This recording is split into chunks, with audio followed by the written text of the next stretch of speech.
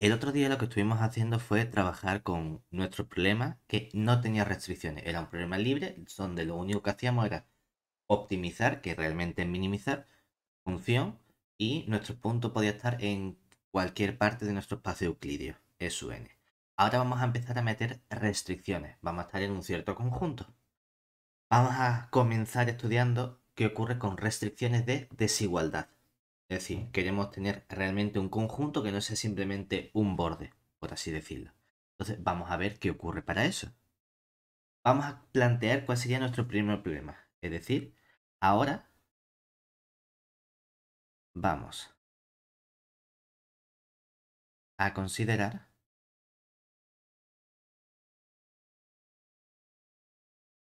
el siguiente problema de programación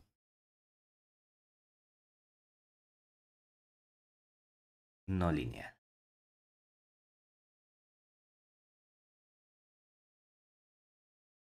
Vamos a definir aquí en principio para que cuando creamos problema P siempre hagamos referencia a este problema en esta lección.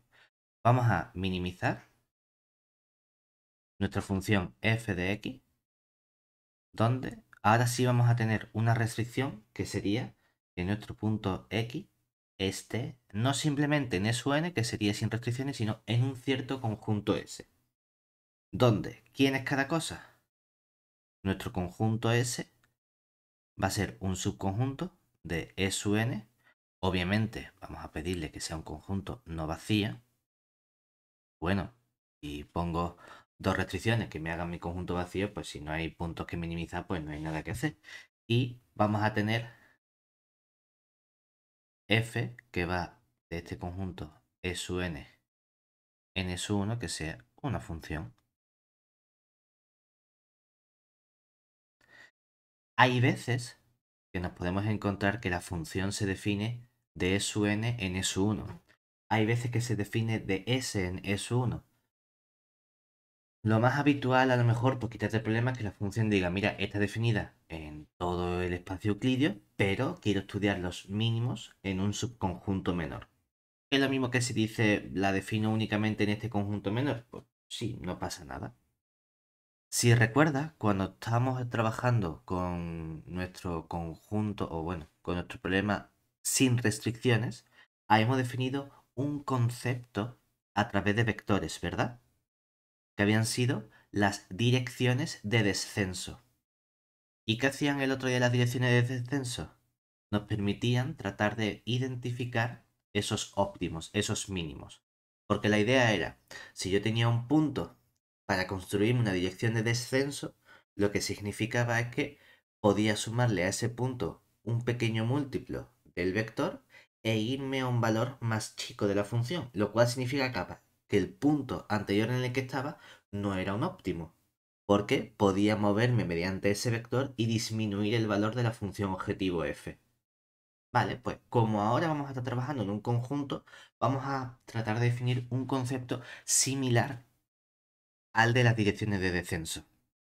Claro, el problema es que antes daba un poco igual cómo sumases, porque siempre ibas a poder hacer la suma de al punto x le sumo ese múltiplo del vector. El problema es que ahora tú quieres estar siempre en el conjunto S. ¿Qué ocurre si de repente te mueves a un punto y ese punto cae fuera del conjunto S? Que tú dices, hostia, no me sirve. Entonces, queremos movernos de punto en punto mediante un vector, pero queremos estar siempre dentro de nuestro conjunto. Entonces, como queremos estar dentro de nuestro conjunto S, vamos a utilizar un concepto muy similar al de dirección de descenso, que va a ser el, concepto de dirección factible. Es decir, nuestra primera definición es la siguiente esto es únicamente como un análogo de nuestra dirección de descenso, pero para estar siempre dentro de este conjunto S. Entonces, sea S, nuestro conjunto de e n conjunto no vacío, y vamos a coger un punto X rayita de nuestro conjunto S. Entonces, definimos el cono de direcciones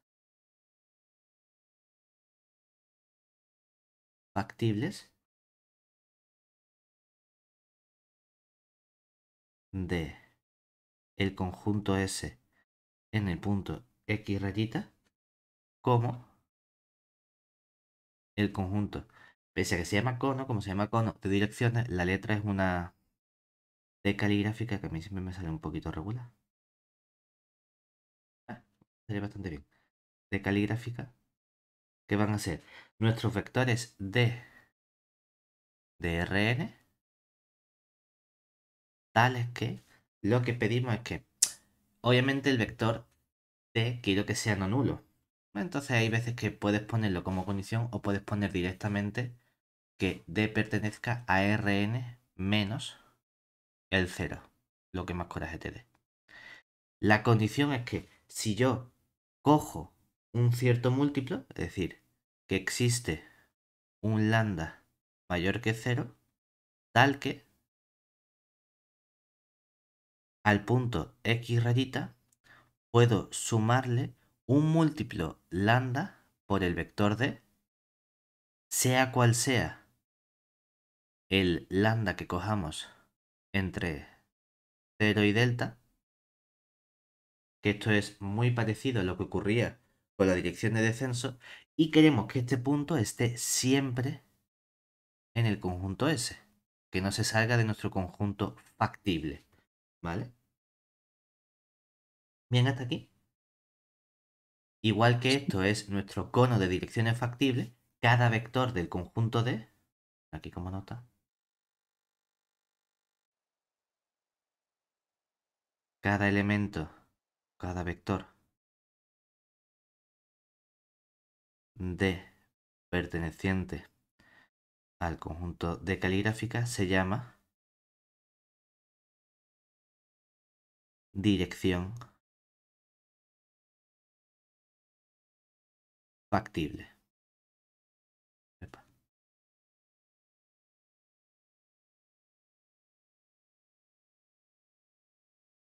Vale. Fíjate que esto es una condición extra adicional a lo que hacíamos antes con las direcciones de descenso. Es decir,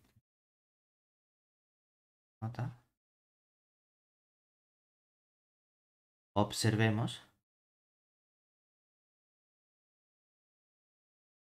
que una dirección factible de, otro conjunto de caligráfica, puede ser además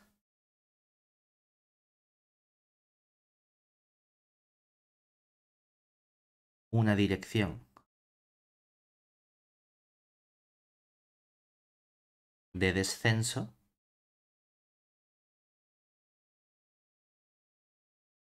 Para f, para nuestra función, en ese punto x rayita perteneciente al conjunto S, si además verifica que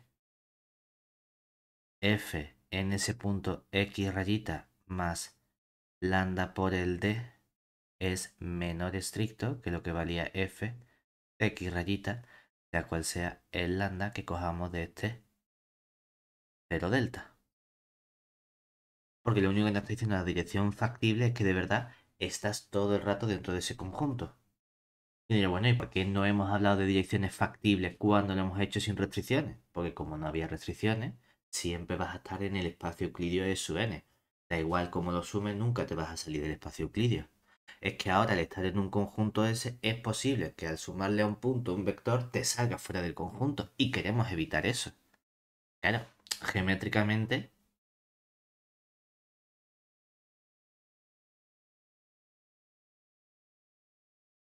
¿Cómo podríamos interpretar este, este cono de direcciones, por ejemplo? Es como que podemos poner como... Imagínate, yo qué sé, por poner algo, tenemos una recta a lo mejor. Este pico aquí. Aquí le puedo hacer una curva.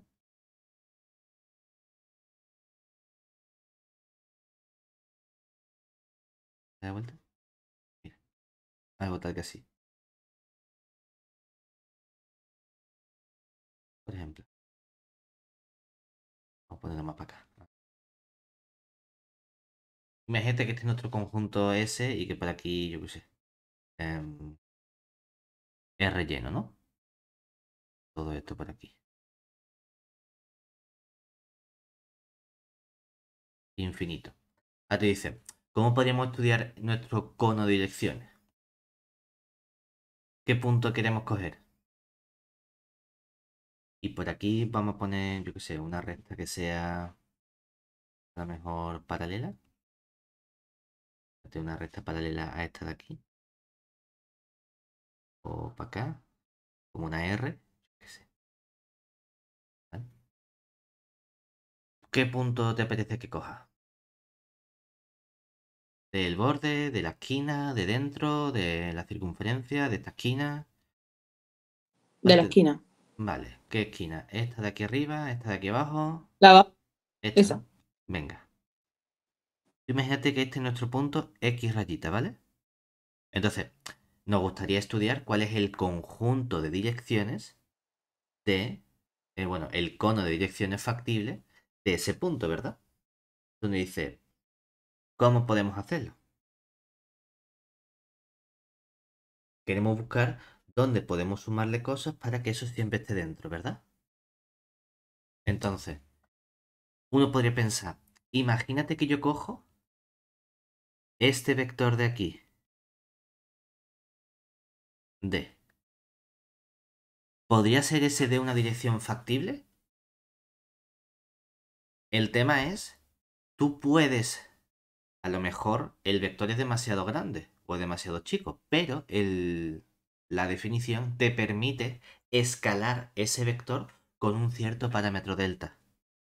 ¿En qué sentido? En el sentido que tú dices, claro, si yo a este X rayita le sumo el vector D, el punto cae dentro, ¿verdad? O sea que no habría problema en que este D lo fuese. Y si cojo este vector D,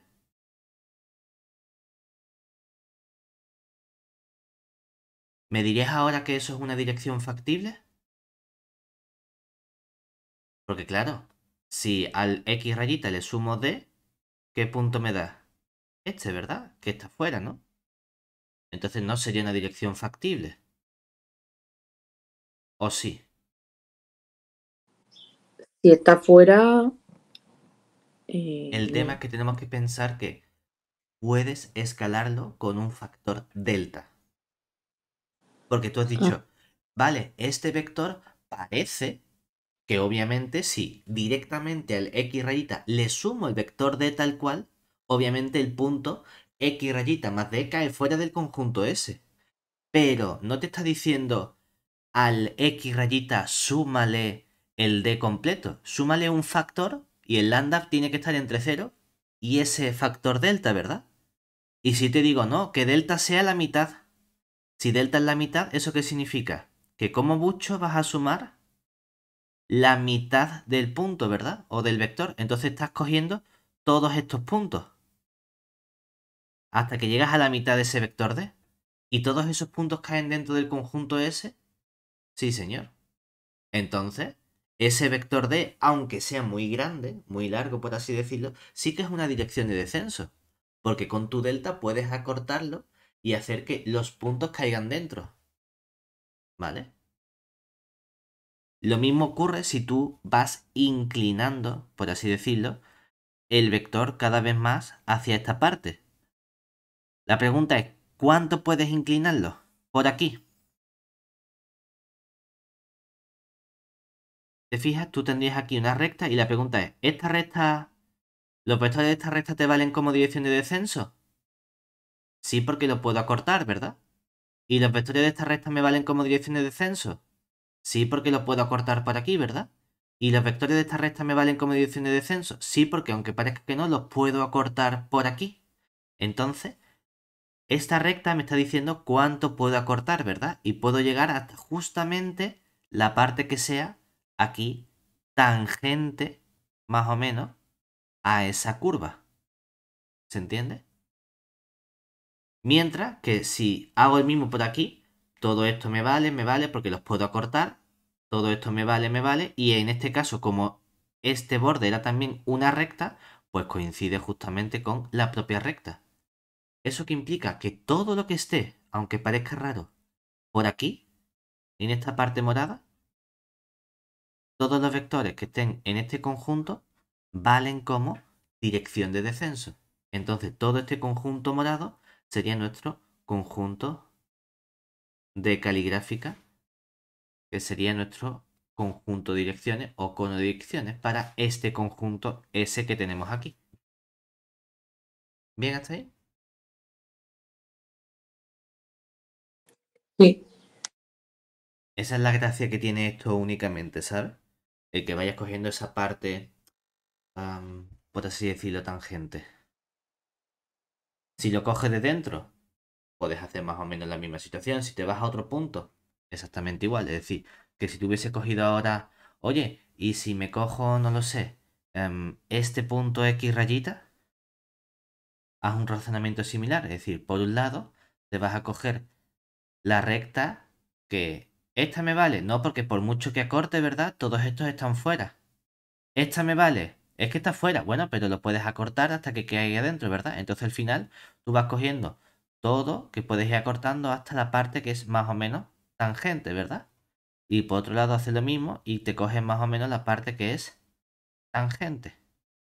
Entonces al final por aquí te estarías quedando con toda esta parte, todo este semiplano, sería nuestro eh, cono direcciones de caligráfica, pero para ese conjunto que, o para ese punto ahora que es este punto X rayita.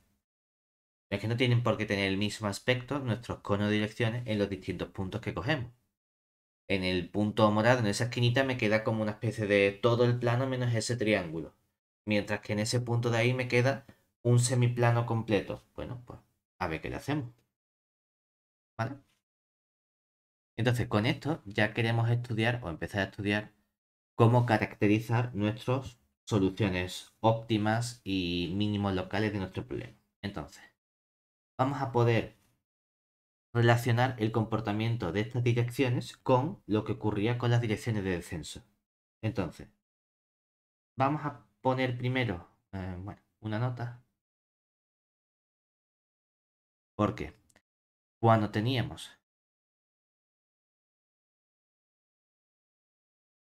una función f que fuese de n en S1 que era diferenciable.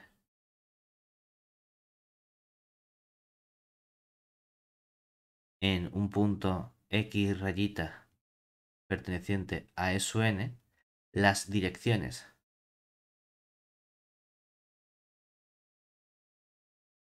De descenso.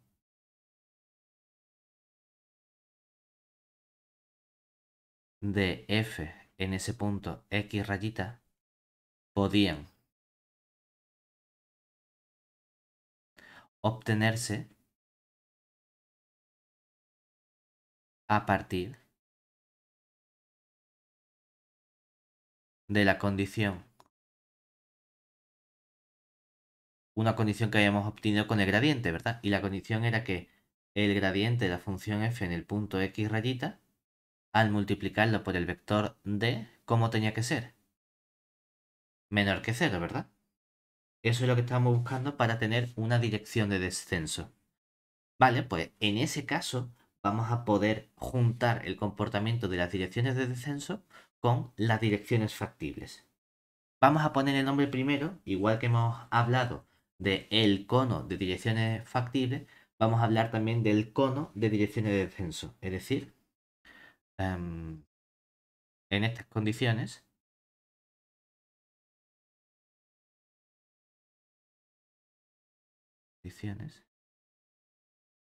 definimos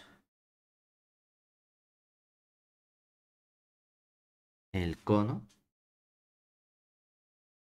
de direcciones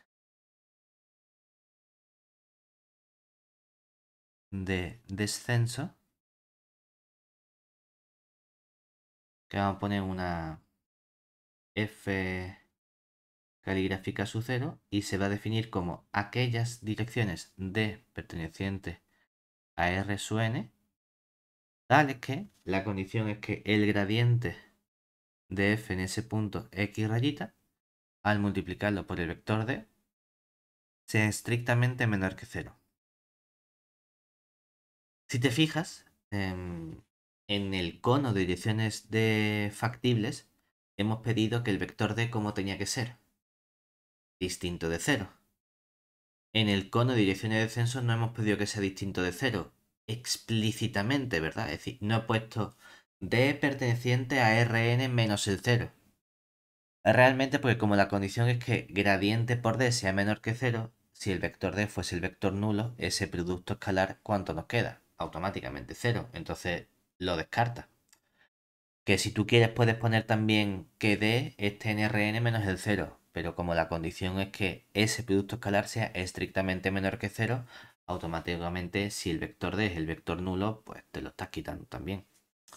Pero bueno, que se puede poner de forma más explícita o no, eso ya como uno prefiera.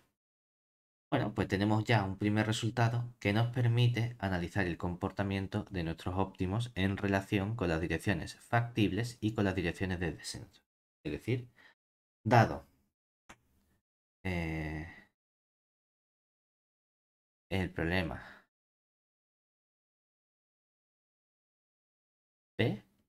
De optimizar, de minimizar nuestra función, si f es diferenciable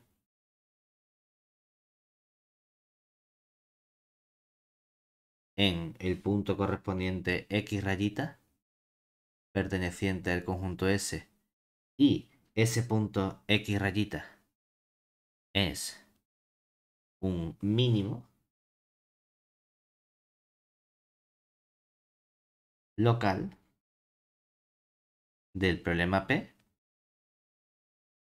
entonces,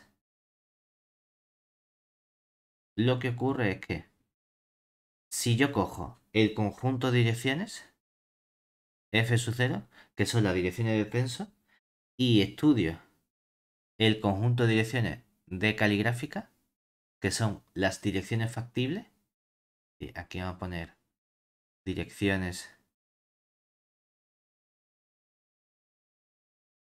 de descenso, Y aquí ponemos nuestras direcciones factibles. ¿Qué crees que tiene que ocurrir?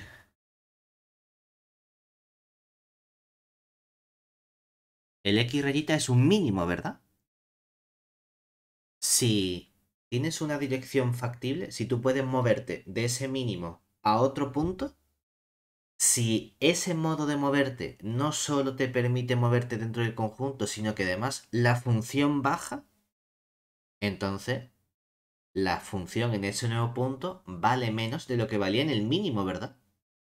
Pero se supone que en el punto x rayita hay un mínimo, por lo tanto no puede haber cerca de él valores de la función más chicos.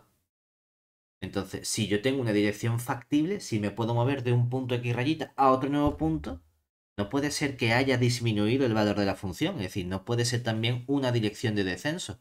Por lo tanto, la intersección de estos dos conjuntos, ¿cómo tiene que ser? El vacío. Lo que estamos diciendo justamente es que no puede haber simultáneamente direcciones factibles y direcciones de descenso en un mínimo. Ya has llegado lo más bajo que podía llegar en cuanto a los valores de la función. ¿De acuerdo? ¿Bien hasta ahí?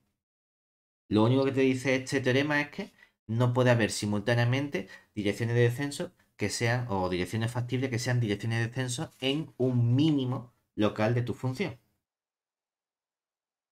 Ahora bien, por si acaso, nota. El resultado anterior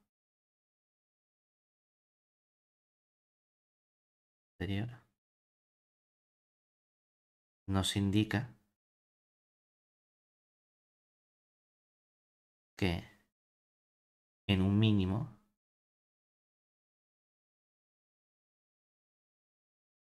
X rayita no puede. Haber direcciones. De descenso. Que disminuyan.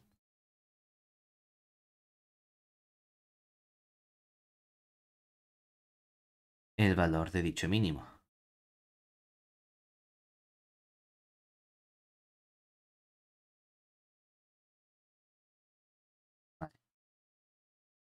De momento nosotros estamos estudiando un conjunto S que tiene unas restricciones de desigualdad. Pero hasta ahora, en ese conjunto S que tenemos, en ningún momento hemos dicho explícitamente el aspecto que tiene el conjunto. Entonces, lo más habitual es que tengamos un conjunto S que sea de tipo poliédrico, es decir, vamos a especificarlo ahora. Em, ponemos, bueno, em, aunque estamos trabajando,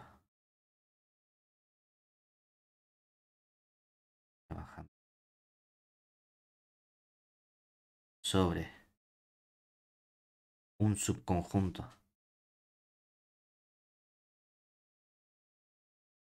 S contenido en nuestro SUN, que sea obviamente no vacío, vamos a tratar de, no sé llamarlo, afinar un poquito más el comportamiento o aspecto de nuestro conjunto S.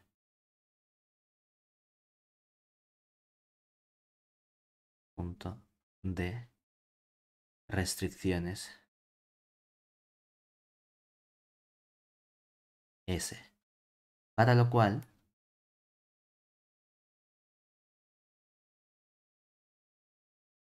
trabajaremos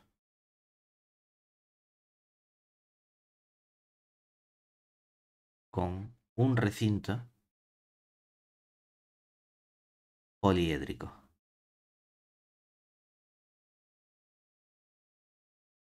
Es decir, vamos a expresar nuestro conjunto S como aquellos puntos X que estén a priori en un cierto conjunto X mayúscula contenido en SUN, tal es que lo que vamos a exigir es que haya una serie de restricciones que notamos mediante G sub i de X y todas van a ser restricciones de desigualdad que vamos a establecer como menor o igual que 0 para todo i desde 1, 2 hasta mm, m. ¿Dónde? ¿Quién es cada cosa? Este x es un conjunto X contenido en SUN es un abierto y las G sui que van de este conjunto en general pueden ir de todo SUN a SU1 son funciones que nos dan nuestras restricciones para todo i desde 1 hasta n. ¿Vale? Entonces, ¿cuál va a ser el problema que nosotros vamos a considerar ahora? Nuestro problema. Problema de programación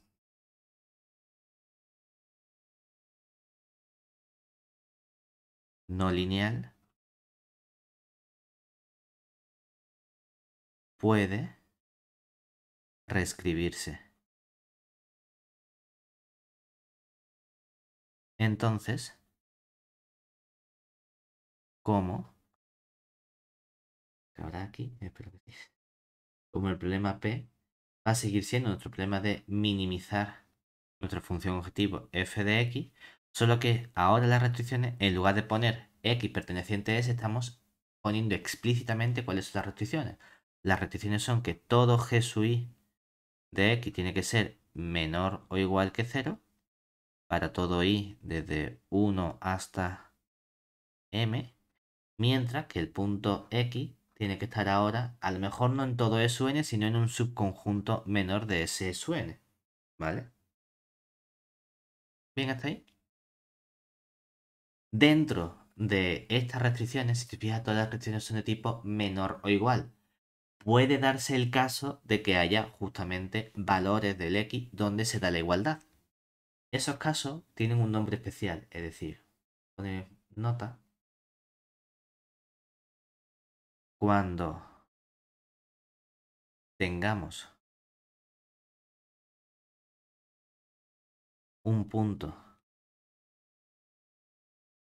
x rayita perteneciente a S tal que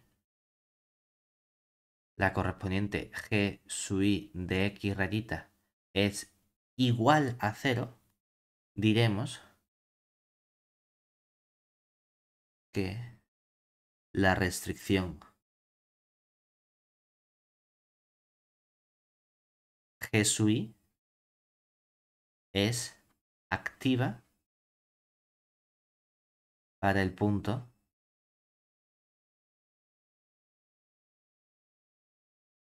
X rayita. ¿Vale? Entonces, de momento, ¿qué hemos visto? De momento, hemos visto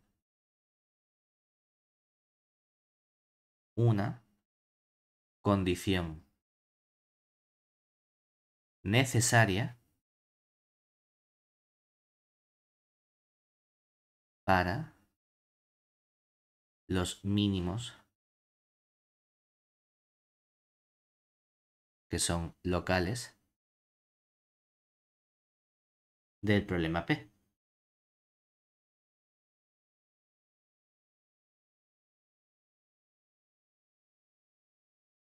Siendo esta ¿qué? ¿Cuál era la condición necesaria?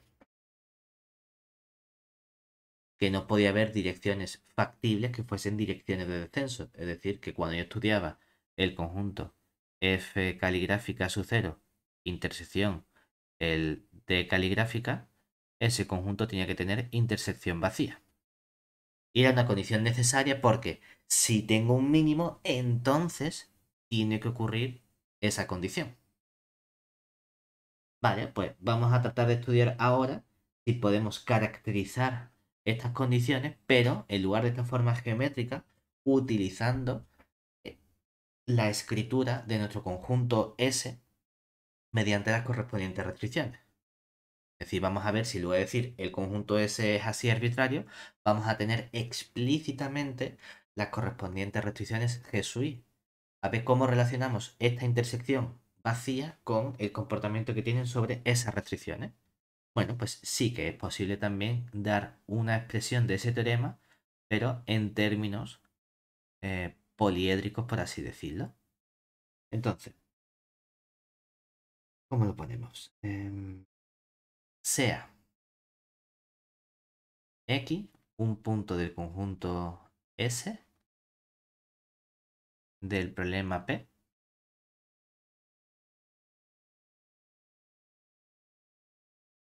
Y em, denotemos por I mayúscula va a ser el conjunto de índices donde la restricción es activa, es decir, el conjunto de índices I tales que para que la restricción sea activa, ¿qué hemos dicho que tenía que ocurrir? Que G sub i en el punto X rayita, ¿cuánto valía exactamente? En lugar de ser menor o igual que 0, eran los puntos donde era exactamente igual a 0. Vale, vamos a quedarnos con aquellas restricciones donde el G sub i en ese punto es exactamente igual a 0. Ese sería nuestro conjunto de índices de restricciones activas en el punto. Entonces, supongamos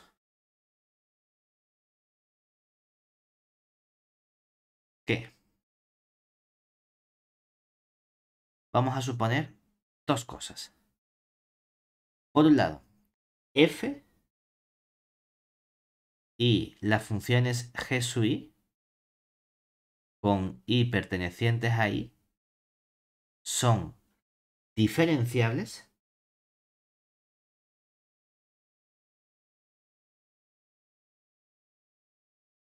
en el punto x rayita.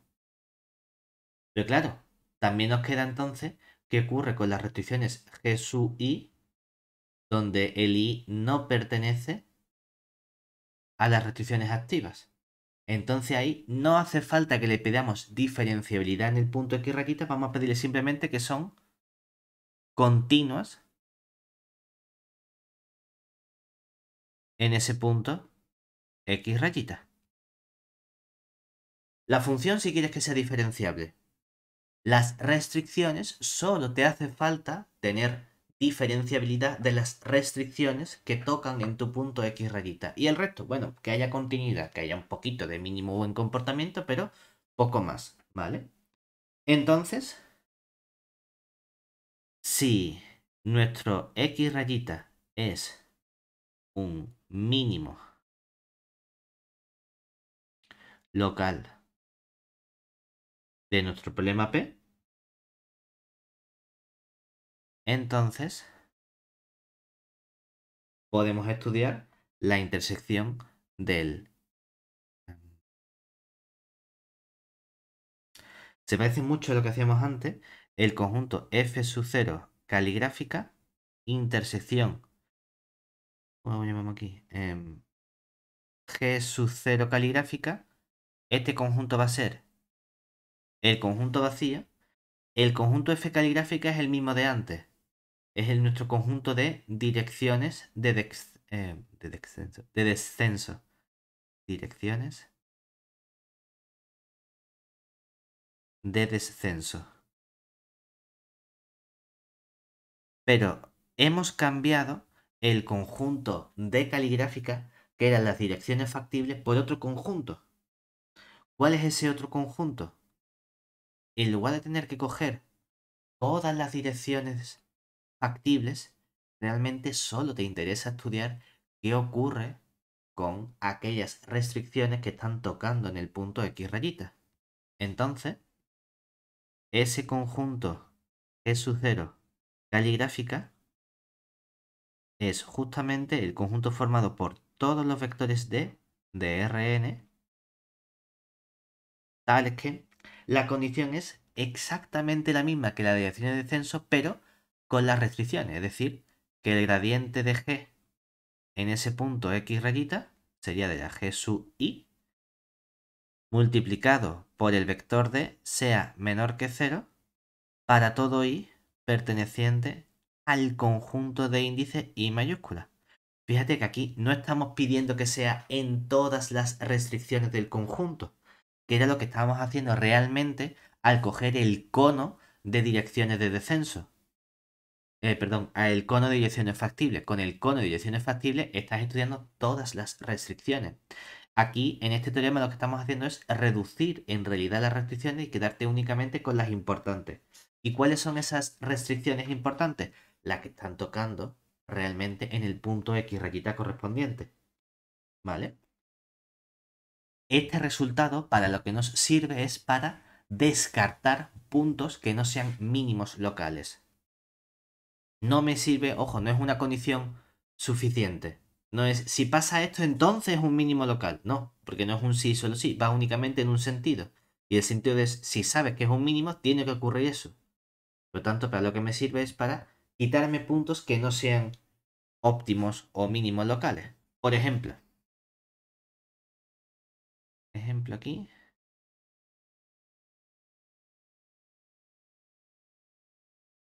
Consideremos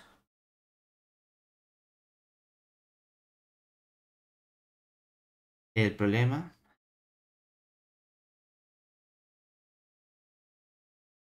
a poner P que sea minimizar. ¿Qué función quieres minimizar? La que tú te inventes. ¿La quieres cuadrática? ¿La quieres más complicada? Vamos a ponernos una más complicada, ¿no? Una más complicada. Venga, ¿qué podemos ponernos? Nos ponemos algo con exponenciales a lo mejor.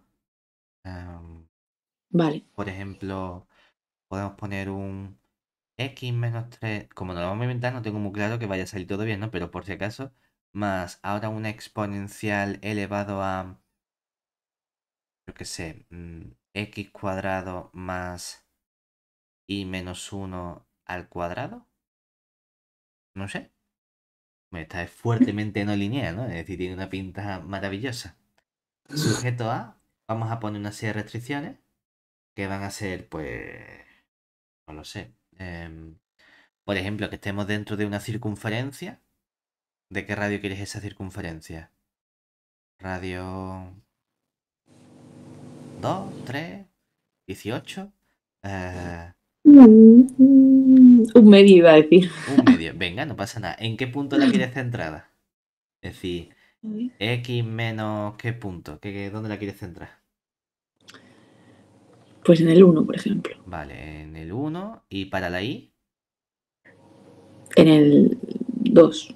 vale, i menos 2 cuadrado menor o igual. Como el radio es un medio, tengo que poner un cuarto, ¿verdad? Vamos a quitarle un trozo. Si quiero hacer algo, rollo que sea, cojo esta circunferencia, le corto algo así, ¿sabes?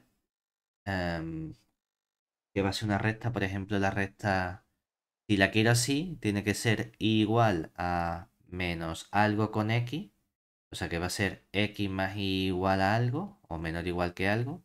Vamos a poner, por simplificar, x más y menor igual, ya que has puesto fracciones, vamos a poner menor igual que un medio, a ver qué pasa. Y dentro de los cuadrantes, como está en el punto 1, 2, eh, vamos a poner el primer cuadrante, ¿no? Primer cuadrante sería x eh, mayor o igual que 0 y la y mayor o igual que 0. ¿Te parece? Sí, madre mía, nos está quedando una cosa tan bonita. Bueno, bueno. Em, primer problema que nos encontramos. Este problema de programación no lineal no está escrito como a nosotros nos gusta. Porque es verdad que tiene restricciones. Es verdad que tiene restricciones de desigualdad, ¿verdad? ¿Son todas del tipo menor o igual? No. Hay dos restricciones de tipo mayor o igual. Bueno, no pasa nada. Se multiplican por menos y se cambian, ¿verdad? ¿Las otras restricciones son del tipo menor o igual que cero? No. Entonces tengo que convertirlas en menor o igual que cero. Bueno, no pasa nada. El un cuarto lo paso restando, el un medio lo paso restando. Pero tenemos que ponerlo como a nosotros nos gusta. Entonces, reescribimos este problema y nos quedaría un problema P de minimizar nuestra función x menos 3 al cuadrado más elevado a x cuadrado más el i menos 1 al cuadrado sujeto a. Ahora tendremos x menos 1 al cuadrado más y menos 2 al cuadrado menos un cuarto menor o igual que 0. La restricción x más y menos un medio menor o igual que 0. Multiplico por menos menos x menor o igual que 0. Multiplico por menos menos y menor o igual que 0. Entonces, si te fijas, por un lado, tenemos nuestra función objetivo aquí. Esta sería nuestra función f de xy. Y ahora, ¿cuántas restricciones tenemos? Tenemos cuatro restricciones, ¿verdad? Esta función G1, esta función G2, esta función G3 y esta función G4. Es decir, las restricciones serían restricciones una función G1 de xy que está dada por x menos 1 al cuadrado más y menos 2 al cuadrado menos un cuarto una restricción G sub 2 de xy que estaría dada por x más y menos un medio, restricción G sub 3 de xy que estaría dada por eh, menos x y una restricción G sub 4 de xy que estaría dada por menos y. ¿Vale? Oye, geométricamente, ¿qué aspecto tiene el conjunto S, el recinto S en el que estamos trabajando? Aquí estaríamos diciendo, pues geométricamente,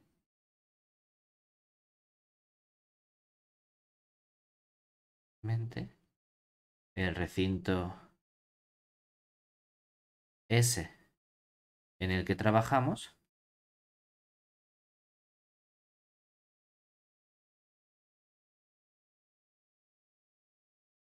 sería, pues como estamos en el primer cuadrante, vamos a poner aquí únicamente el primer cuadrante. Tenemos una circunferencia que la hemos puesto centrada en qué punto? En el 1, 2 y de radio eh, un medio, ¿verdad? Vale, a poner en el 1, por ejemplo, por x igual a 1.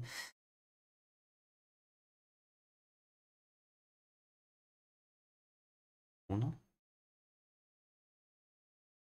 2, aquí. No va a quedar escala. Bueno, eh... Pues marca primero el de las Y y luego marcas el de las X. Voy a, ya, voy a poner aquí el 2, voy a poner aquí el 1. Y entonces aquí más o menos, más o menos, el 1 y aquí el 2. Vale. Venga, entonces, nos queda ahora como es radio un medio, ¿verdad? Sé que el centro está en el 1, 2. Aquí. Y vamos a coger radio un medio, que sería chispa arriba, chispa abajo. Vamos a ponerlo chiquitito. Aquí. Radio un medio puede ser una cosa así. Parece, ¿no? Y luego tenemos la recta x más y igual a un medio.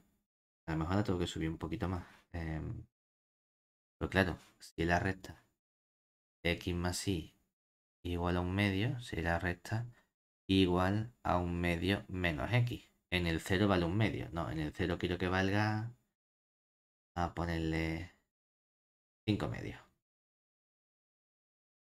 Cambia esto. Aquí. 5 medios.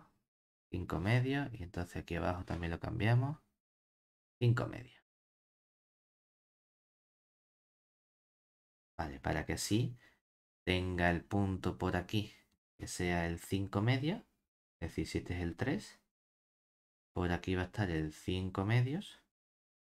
Entonces, en el punto 1, si está 5 medios, cuando la x valga 1, nos queda y igual a 5 medios menos 1, que son 3 medios, ¿verdad?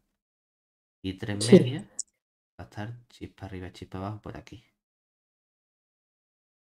El punto 1, 3 medios, esto de aquí,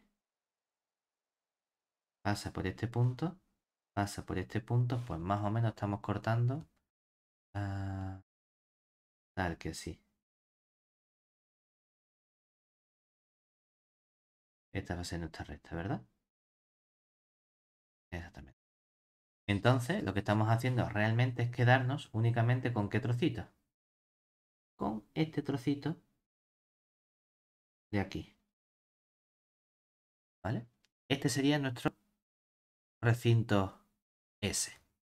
Fíjate que hay dos puntos importantes para nuestras restricciones, ¿verdad? Que serían este punto de corte que tenemos aquí y este punto de corte que tenemos aquí. Podemos calcular esos puntos, ¿verdad? Pero estos puntos de forma sencilla serían el punto X rayita y rayita, que cuánto vale. Hombre, aquí lo vemos a ojo, ¿no? Que sería el punto 1, 3 medios, ¿no?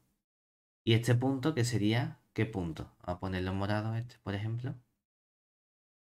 Sería el punto em, X rayita y rayita, que la X vale un medio y la i vale 2. Entonces uno decir, ¿alguno de esos dos puntos, alguno de los extremos es un candidato a mínimo de nuestra función?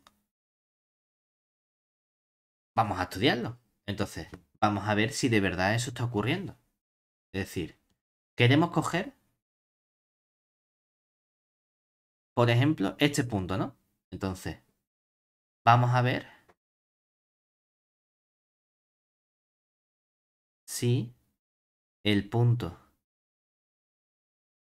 x rayita y rayita dado por un medio 2 puede ser un posible mínimo local de eh, nuestro problema P.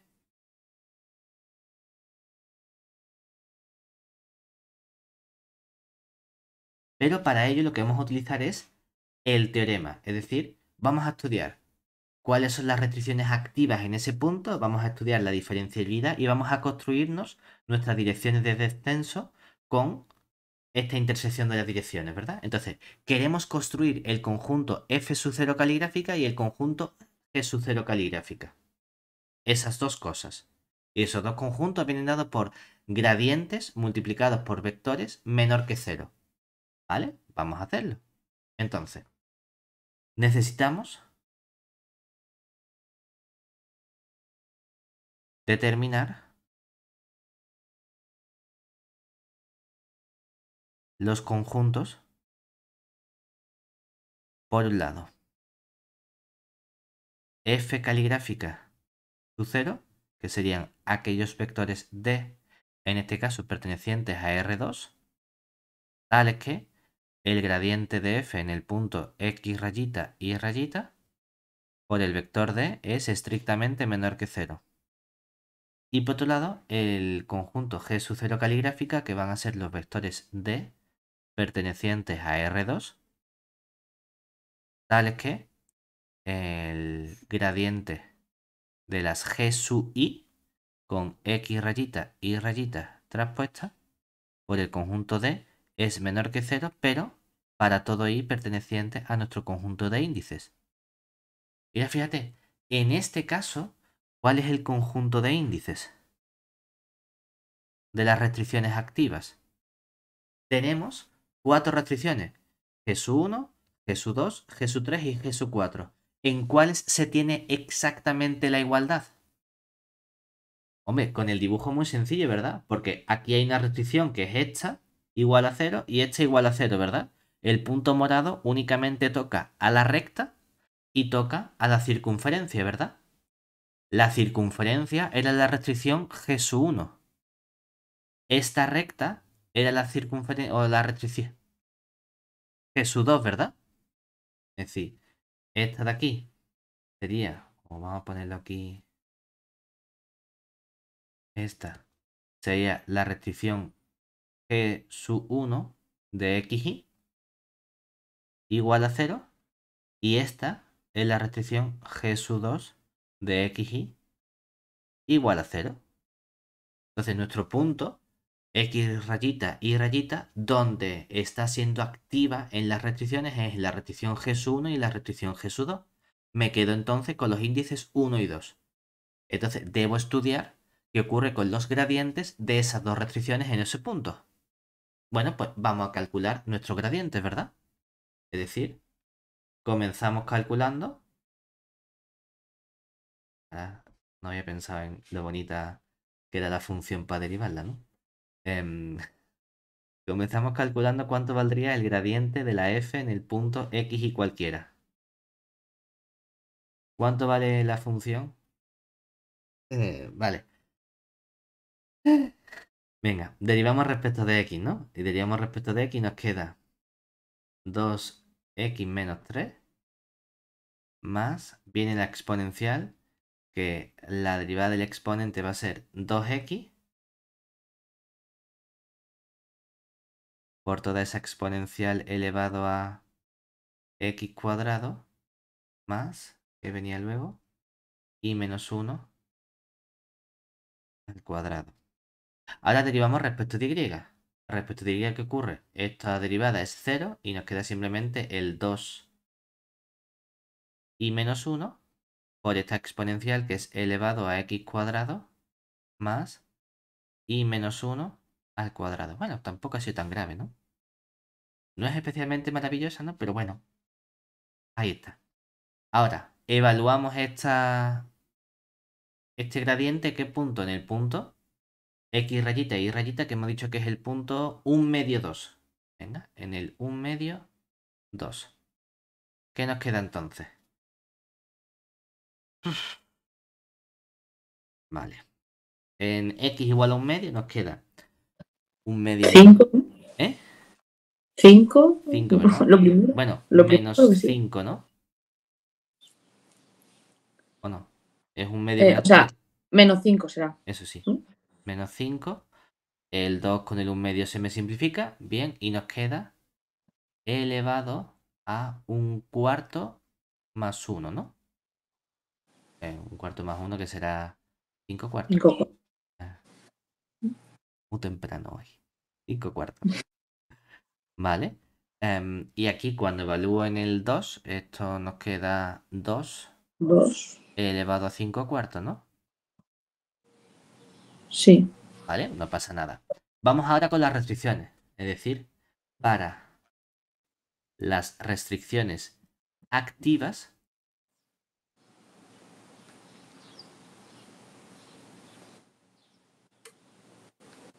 ¿qué tendríamos? Cojo únicamente como el índice i igual a 1 pertenece a la restricción activa de la circunferencia, pues calculamos el gradiente de g sub 1 de xy. Esta así de la circunferencia x menos 1 y menos 2. Al derivar el 1 cuarto me va a dar exactamente igual. O sea que nos queda 2 x menos 1 más, bueno, eh, y el 2 y menos 2, ¿verdad? Entonces cuando evalúo en el g sub 1 del punto 1 medio 2, ¿qué nos queda? El igual a 2 desaparece, ¿verdad? Y aquí nos quedaría Menos 1. menos 1, 0, ¿no? Vale. Eh, sí. Y el gradiente de g sub 2 de xy, esta nos queda x más y, o sea que está genial, ¿no? Porque nos queda directamente 1, 1. Es verdad que tienes que evaluar, ¿no? Pero bueno, el gradiente de g sub 2 evaluada en el punto 1 medio 2 sigue siendo el 1, 1. Venga, pues vamos a estudiar entonces cuáles son nuestros dos conjuntos de direcciones. Es decir, de este modo obtenemos que... Voy a hacer una cosa, a ver si puedo copiar el dibujito de antes. Aquí.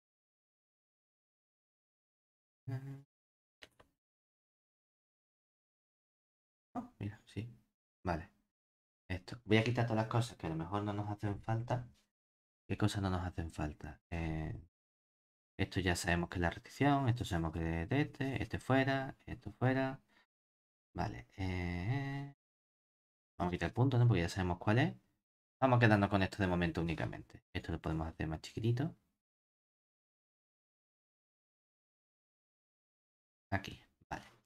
Entonces, ¿cuál sería el conjunto F o vamos a estudiar primero para nuestro conjunto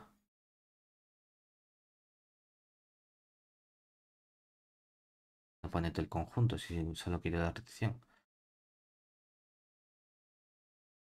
a poner 1 para el conjunto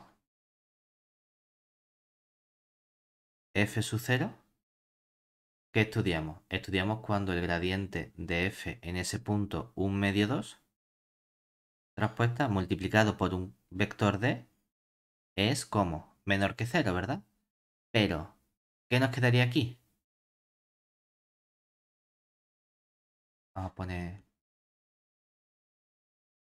de qué vector quieres que sea. Le ponemos A, B, C, D, D su 1, D su 2. em, De su 1, de su 2. venga, D su 1 y D su 2 pertenece a R2.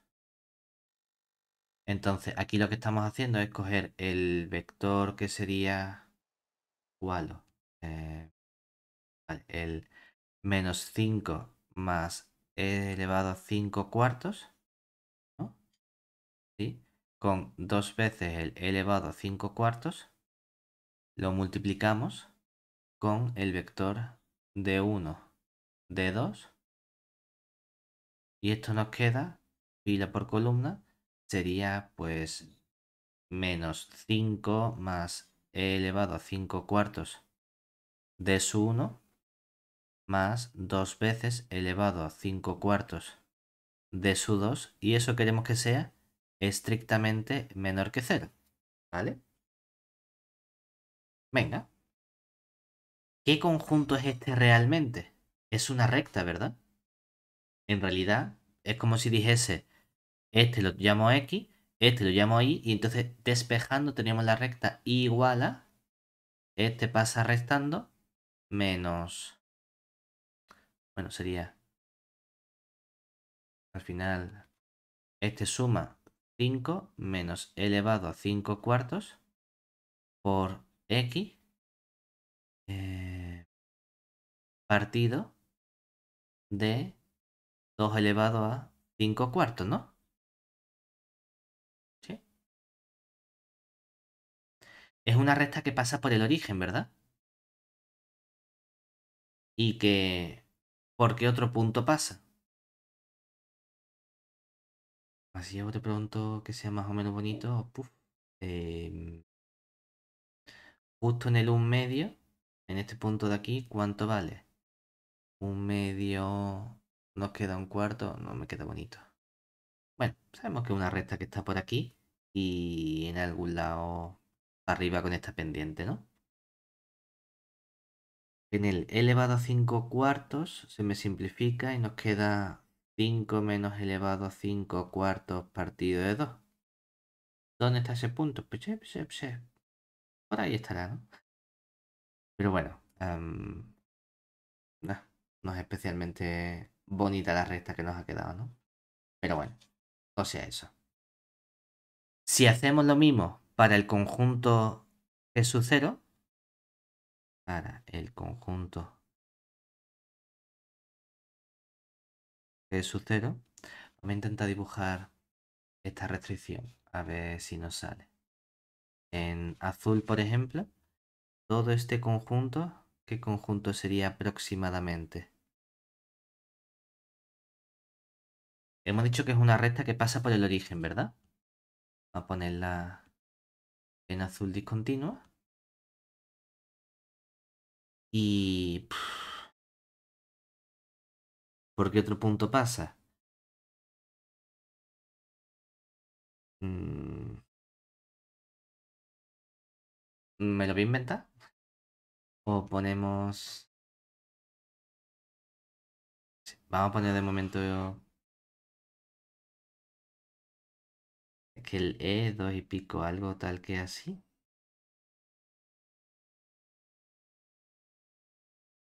Poner algo tal que así, ¿vale? Que esta sea nuestra recta. Entonces, como es menor que cero, ¿verdad? ¿Con qué parte nos estamos quedando? Con la parte ahí que está por debajo, ¿cierto? Que sería... Epa.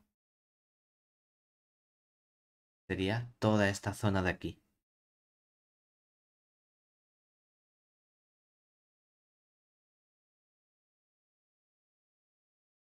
¿Vale? Aprox. Vamos a hacer lo mismo con el conjunto G sub 0. ¿Qué ocurre con el conjunto G sub 0? Tenemos dos restricciones ahora, ¿verdad? Que sería gradiente de la G sub 1 de 1 medio 2 por el D, que nos quedaría menos 1, 0 por el D sub 1, D sub 2. ¿Y eso que nos queda? Menos D sub 1 y eso tiene que ser menor que 0, ¿verdad?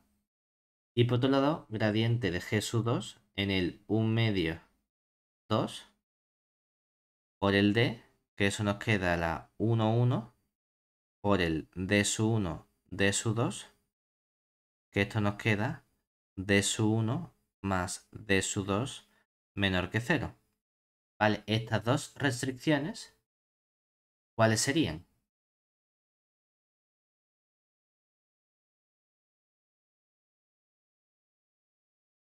D 1 menor que 0, lo mismo que decir d 1 mayor que 0, es decir, la componente x sería positiva, todo este semiplano, ¿verdad? Y luego d 1 más d 2 menor que 0 es la recta que pasa por dónde? La recta, que sería por un lado toda esta parte de aquí, hacia la derecha, y luego la recta igual a menos x, ¿cierto? Que sería toda esta zona de aquí. Más o menos. Entonces, ¿con qué conjunto nos estaríamos quedando? Con todo este triangulito, ¿verdad? Y fíjate, hay vectores que estén en la zona azul y en la zona morada al mismo tiempo. Lo hemos dibujado muy cortito, pero piensa que esto es toda esta zona, ¿verdad? Entonces, ¿hay algún vector de R2 que pueda estar tanto en la zona azul como en la zona morada al mismo tiempo? ¿Qué piensas?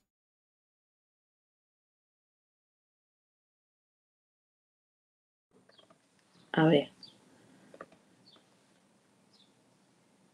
¿Qué pasa si yo cojo, por ejemplo, este vector? Y digo, ah, este es mi vector D. Este vector D está en la zona morada, ¿verdad? Cumple que la componente de su 1 es positiva y cumple que las componentes de su 1 más de su 2 suman negativo. Pero mm. como está en esta zona azul, también cumple esta desigualdad rara, ¿verdad? Sí. Entonces, ¿cuál es el problema? Que como ese vector D está en la zona azul, está en F sub 0 caligráfica, ¿verdad? Y como este vector D está en la, en la zona morada, está también en la zona G sub 0 caligráfica, ¿cierto? Entonces, ¿qué ocurre con esta intersección?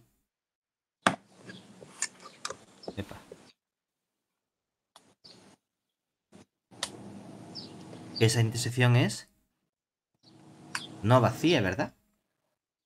Y si esa, si esa intersección es no vacía, el punto 1 medio 2 puede ser un mínimo. ¿Qué va? Es decir,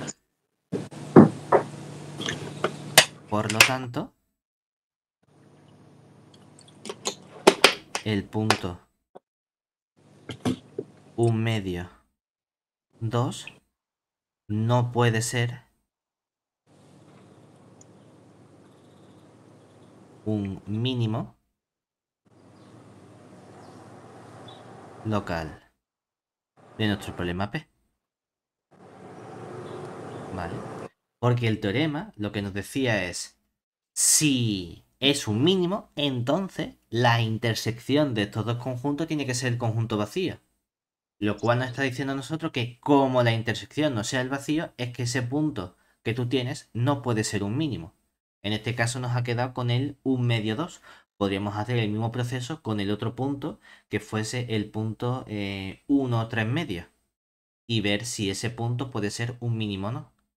Para lo que nos sirve este teorema es para quitarnos, para descartar aquellos puntos que no van a ser óptimos de nuestro problema. ¿De acuerdo?